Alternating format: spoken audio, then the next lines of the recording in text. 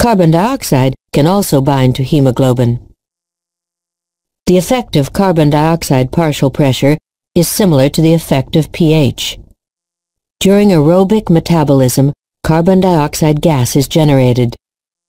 The carbon dioxide gas is temporarily converted to carbonic acid in red blood cells. The result of increased carbon dioxide gas in the blood is a lowered pH, causing the Bohr effect.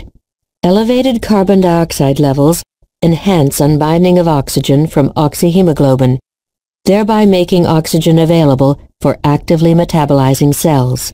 By contrast, decreased carbon dioxide, as in the alveolar spaces, increases affinity of hemoglobin for oxygen and promotes oxygen loading and transport.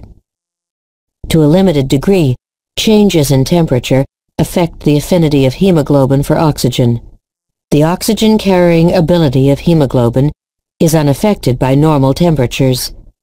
However, near metabolically active cells, blood temperature rises and decreases the affinity of hemoglobin for oxygen.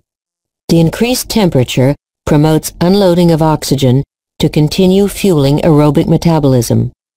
When temperatures lower, metabolism slows, and the need for oxygen in cells lessens more oxygen remains bound to the hemoglobin.